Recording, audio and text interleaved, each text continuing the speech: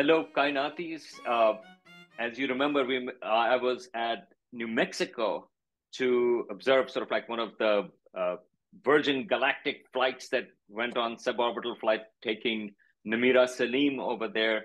One of the other astronauts that was with Namira was Ron Rosano, and I didn't get a chance to interview him over there, so I'm interviewing him now. Uh, hello, Ron. Hello, Salman. Thank you. Thank you for having me. Great to see you. Thank you. Thank you. So I thought, like, you know, uh, since I interviewed a couple of people over there, I mean, I'm just fascinated by people who are going up. So I'm just curious, how did you get interested in, like, you know, that you wanted to go into space? Oh, I've I've always wanted to go to space. You know, I've for as long as I can remember, I was been fascinated by the nighttime sky and the stars in in the in the night sky. And even at age six or seven, eight, you know, was curious about what's going on outside the planet, you know, outside the surface.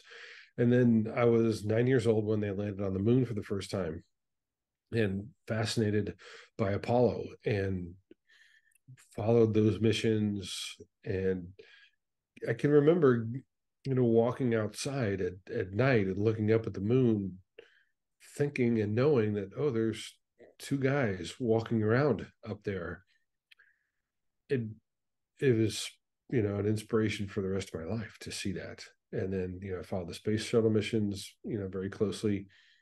Never thought I'd have the opportunity to go to space until 2004 when uh, the Spaceship One won the Ansari X Prize, and Richard Branson was there, and this on the on the on the day that it's uh, won the prize, and said, "I'm we're going to have a bigger version called Spaceship Two and take people to space." And I was like, "Wow, okay, this could be my chance." So I kept an eye on Galactic uh, for a few years and bought a bought a ticket with them in 2010, and was fortunate enough to get a seat assignment uh, in uh, earlier this year and, and flew October 6th.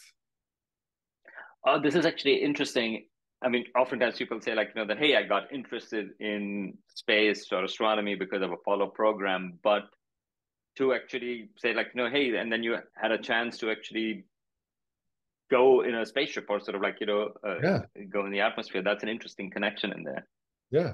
So, yeah, but, uh, you know, advice to students if you have a dream, stay with it you know um, you know i work do a lot of work with students and you know get asked often gee you know how can i you know be an astronaut or or, or work in space and um, really the best advice i've i've heard and can think of is you know find something you really love doing uh, be ready to work really hard at being really good at it and you never know what will happen. You'll find a place. A place will be there for you somewhere. You know i don't think any of the people that have flown with Galactic or that are working for the company 20 years ago would have thought that you know we're doing what we're doing now or we've done what we've done now. You know it's and i think it's that that landscape for spaceflight is changing even more now there's more and more companies there's a lot of technological advantages we didn't have 20 years ago. And um you know i think i think anyone you know under age 40 will have the chance to go to space in their lifetime um, at a at a, at a much more reasonable uh, you know uh, price than what's what's what's happening now. So uh, that that takes me out of the equation. But, but, 50, but 60, you know, I'm 63, so I think I think students in particular will have a chance to go way before they get to my age. right, but uh, uh, but I should I should mention that you also are a STEM educator, an informal educator, and so you actually bring this experience uh, to, to a certain degree to kids, especially, and to others. Um, and so science is not just sort of like you know your passion for yourself but actually you also uh, do science promotion as well. Uh, so tell us a little bit about what do you do in that sense? Yeah so i've been involved in a few programs uh, going back to 1995 doing classroom activities with students related to space and astronomy. Um, a lot of them uh, in person in classrooms here in the san francisco bay area. Um, some outreach, a good amount of outreach through NASA's Solar System Ambassador Program. It's a volunteer program. There's thousands of ambassadors all over the US that give presentations on NASA projects, talking about the James Webb Space Telescope or Mars rovers, or an eclipse of the sun or you know things like that and then um, for the last 10 years i've been working with virgin galactic doing what we call space chats um, we do q&a sessions with classrooms all over the world uh, to talk about commercial space and what that means you know for the first time ever you know with blue origin and virgin galactic um, people from all over the world can buy a ticket to go to space which is a big game changer. It changes things enormously. In that before this, you had to work for a government, a national space agency, to be an astronaut, uh, and you'd go to space only if you were a career astronaut. So now, for the first time, people from all over the world are going to space. They're having it's not the same as going to orbit. It's, it's suborbital. It's a short duration, but still, you see the planet. You have a sense of the planet in space, and sharing the idea that we're on this planet together. It's one planet. It's a unique existence. Uh, is really important to me, and, and, I think it's important for for more and more people to know that. I think that's one of the great things that'll come out of you know this commercial space travel. And and so if I can sort of like you know, a, if you were to describe your experience in sort of like you know one thing that you would really say you know this blew me away or this was something unexpected on your flight um, i mean you had a, a few minutes i think of uh, weightlessness or, or sort of like you know a drop off uh, there mm-hmm. in new mexico uh, yeah. which happened in october and now actually i mean interestingly i mean you've had time to think about it i mean i uh, i mean uh, right over there there was one thing sort of like you know you have adrenaline inside and you are sort of like you know responding to it now yeah. that you've had some time to think about it what would it be? What sticks out? What has what aspect of that experience is with you now? Yeah. Um yeah it's it's it it sinks in and it changes a lot in different ways. Could i share a photo? Yeah absolutely. Yeah so here's here's an image that's a, a favorite. And you know i look at this and what's striking to me is the you know thinking about that very thin blue line that you see the edge of the planet uh, next to the blackness of space. And seeing our atmosphere like that is shocking and extraordinary. You know that's our sky. It's everything alive in that blue line. Everything alive on earth exists within that blue line and you don't get a sense of that from the ground. You know you look at the sky and i think it goes on for a long way. You know we were up and through the sky in less than a minute with the rocket burn. And looking down on the planet you get a sense that it is a really unique existence and that we as humans alive on the planet are also a, a, very unique existence and we need i think more and more people need to have a sense of that um, i just realized you know week before last i'm not i'm looking out the sky and i'm not seeing the sky in the same way anymore mm. seeing the sky as a layer that has a boundary at the top where it ends and not as some kind of you know thing that goes on for a long period. Yeah so that's interesting. And and and and i was also surprised like you know that yeah you do go to a place where the sky becomes dark right? Even though it's yeah. a middle of the day flight. And i think that's interesting. Yeah, yeah. no you're beyond the sky. Yeah. you're you're in the blackness of space. You're in you're you're in a in the vacuum of space where there's nothing for the light to hit. So it's black and it's dark so, so can I ask one other question before we go? But I mean, I, am just uh, because it, it, it, just occurred to me about so William Shatner, Captain Kirk.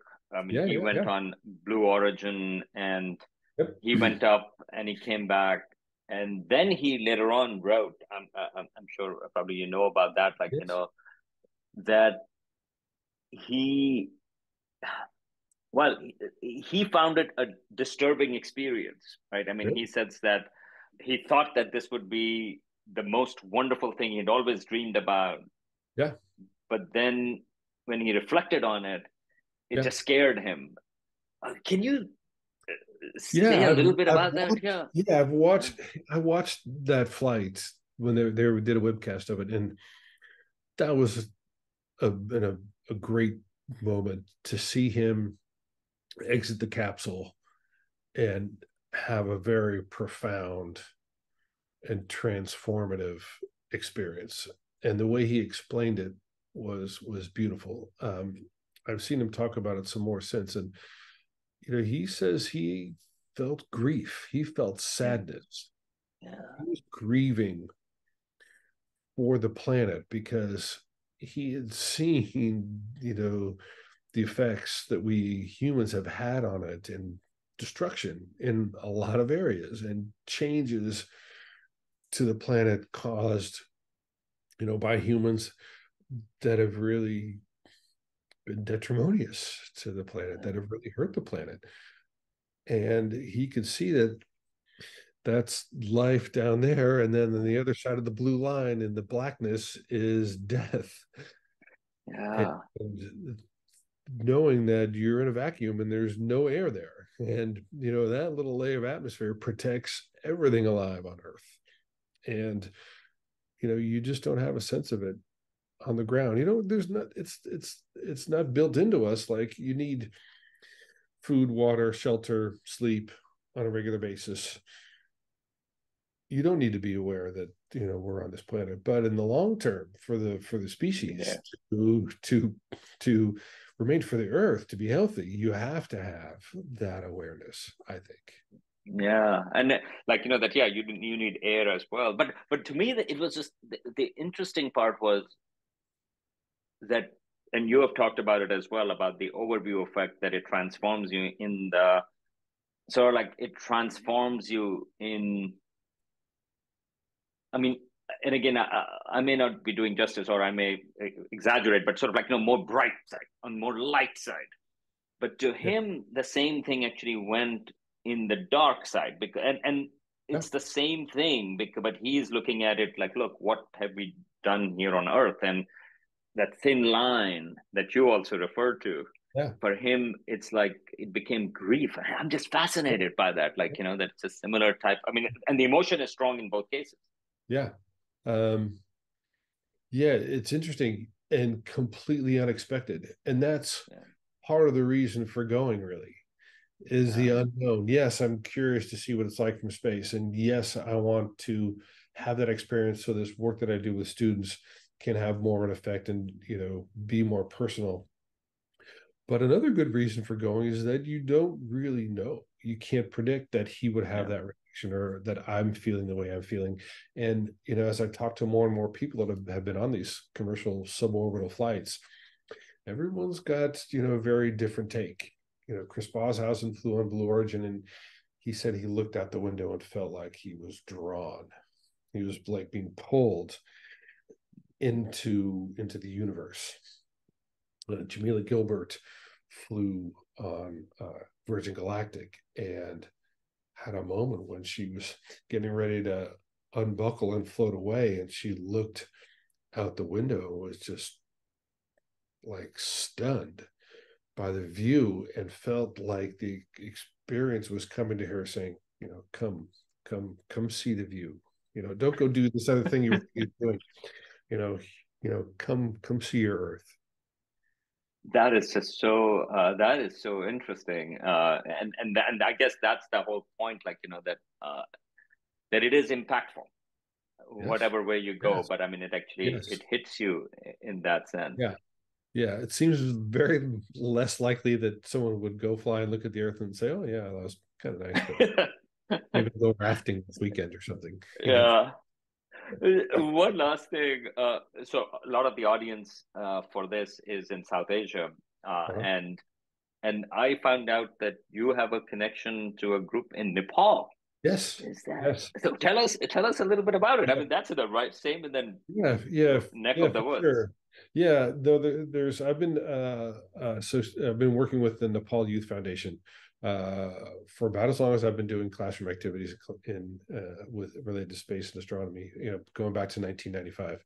Um Yeah, it's, it's a great organization that does very impactful work across a, a number of areas health, um, liberation of Kamlari, you know, young daughters sold into slavery, mm. uh, earthquake relief, um, child nutrition, uh, homes for or, orphans or abandoned or, or at risk children, um, treatment of AIDS patients.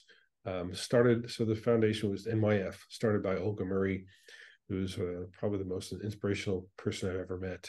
Uh, she was trekking in Nepal and had an accident, hurt her leg, and just fell in love with the people in the country and mm.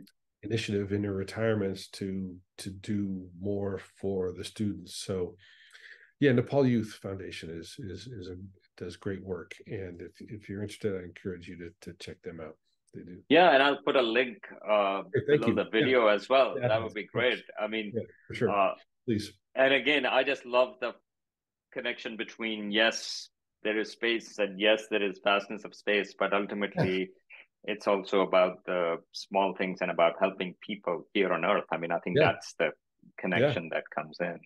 Yeah. So, Ron, thank you so much for sharing this experience. Uh, I really yes. appreciate it. Yes, great to talk.